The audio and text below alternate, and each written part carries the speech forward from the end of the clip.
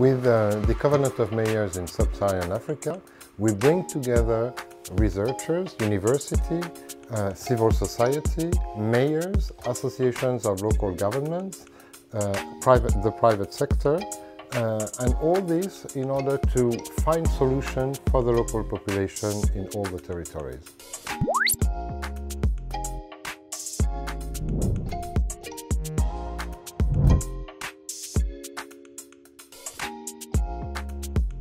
You.